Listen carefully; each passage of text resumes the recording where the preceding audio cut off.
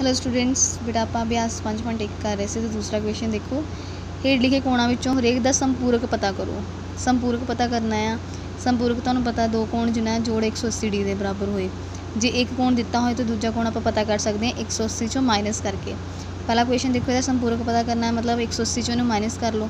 ਕਿੰਨਾ ਆ ਗਿਆ? 75 ਡਿਗਰੀ ਦੂਸਰੇ ਕੁਐਸਚਨ 'ਚ 87 ਡਿਗਰੀ ਦਿੱਤਾ ਹੈ, ਮਤਲਬ 180 ਚੋਂ ਮਾਈਨਸ ਕੀਤਾ 87 ਨੂੰ ਤਾਂ 93 ਡਿਗਰੀ ਦਾ ਸੰਪੂਰਕ ਆ ਗਿਆ।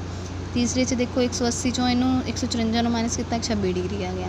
ਆਨਸਰ ਤੀਸਰਾ ਕੁਐਸਚਨ ਦੇਖੋ, ਕੋਣਾਂ ਦੇ ਹੇਠ ਲਿਖੇ ਜੋੜਿਆਂ ਵਿੱਚੋਂ ਪੂਰਕ ਅਤੇ ਸੰਪੂਰਕ ਜੋੜਿਆਂ ਦੀ ਜੋੜਿਆਂ ਦੀ ਪਹਿਚਾਣ ਕਰਨੀ ਹੈ ਪੂਰਕ ਤੁਹਾਨੂੰ ਦੱਸਿਆ ਸੀ ਜਿਨ੍ਹਾਂ ਦੋ ਕੋਣਾਂ ਦਾ ਜੋੜਾ ਆਪਣੇ ਕੋਲ 90 ਡਿਗਰੀ ਦਾ ਬਣਨਾ। ਤੇ ਸੰਪੂਰਕ ਕੋਣ ਕਿਹੜੇ ਹੁੰਦੇ ਆ? ਜਿਨ੍ਹਾਂ ਦੋ ਕੋਣਾਂ ਦਾ ਜੋੜਾ ਆਪਣੇ ਕੋਲ 180 ਡਿਗਰੀ ਬਣੇ।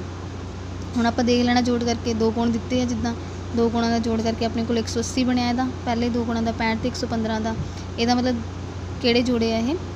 ਸੰਪੂਰਕ ਕੋਣ ਹੈ ਇਹ। ਉਸ ਤੋਂ ਬਾਅਦ 63 ਤੇ 27 ਨੂੰ ਜੋੜਿਆ 90 ਡਿਗਰੀ ਬਣ ਗਿਆ, ਮਤਲਬ ਦੋਨੋਂ ਕੋਣ ਕੀ ਆ ਗਿਆ ਆਪਣੇ ਕੋਲ ਪੂਰਕ ਕੋਣ।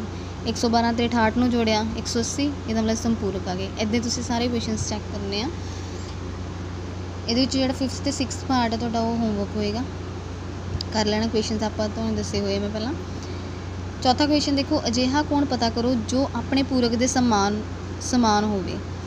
ਮਤਲਬ ਜਿਹੜਾ ਪੂਰਕ ਕੋਣ ਆਪਣੇ ਹੀ ਕੋਣ ਦੇ, ਦੇਖੋ ਦੋ ਕੋਣਾਂ ਦਾ ਜੋੜ ਕਿੰਨਾ ਹੋਣਾ ਚਾਹੀਦਾ ਆਪਣੇ ਕੋਲ 90 ਡਿਗਰੀ। ਕਹਿੰਦੇ ਕਿ ਦੋਨੋਂ ਕੋਣ ਬਰਾਬਰ ਹੋਣ ਤੇ ਆਪਣੇ ਕੋਲ 90 ਡਿਗਰੀ ਬਣੇ, ਇਦਾਂ ਦਾ ਕੋਣ ਹੈ ਆਪਣੇ ਕੋਲ?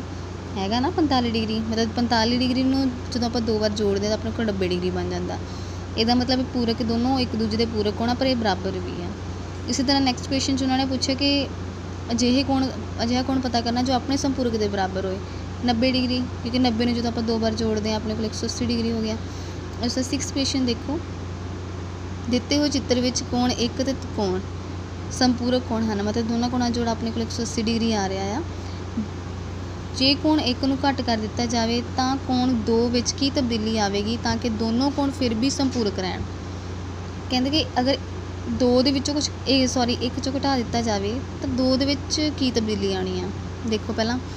ਜਿੱਦਾਂ ਕਿ ਆਪਾਂ ਨੂੰ ਕਿ ਕੋਣ ਇੱਕ ਤੇ ਦੋ ਸੰਪੂਰਕ ਕੋਣ ਆ, ਇਹਦਾ ਮਤਲਬ ਕੀ ਹੋਇਆ ਕਿ ਦੋਨਾਂ ਜੋੜ ਬਰਾਬਰ 180 ਡਿਗਰੀ। ਜੇਕਰ ਕੋਣ ਇੱਕ ਵਿੱਚੋਂ ਕੁਝ ਘਟਾਇਆ ਜਾਵੇ ਤਾਂ ਕੋਣ ਦੋ ਵਿੱਚ ਉਨਾ ਹੀ ਜੋੜਨਾ ਪਵੇਗਾ, ਤਾਂ ਜੋ ਜੋੜ 180 ਹੀ ਰਹੇ। ਜੇ ਇੱਕ ਚ ਆਪਾਂ ਘਟਾਵਾਂਗੇ ਤੇ ਉਨਾ ਹੀ ਆਪਾਂ ਨੂੰ ਐਕ- ਦੋ ਦੇ ਵਿੱਚ ਜੋੜਨਾ ਪਏਗਾ। ਉਦਾਹਰਨ ਦਿੱਤੀ ਹੈ ਮੈਂ ਨੀਚੇ ਲਿਖੀ ਆ।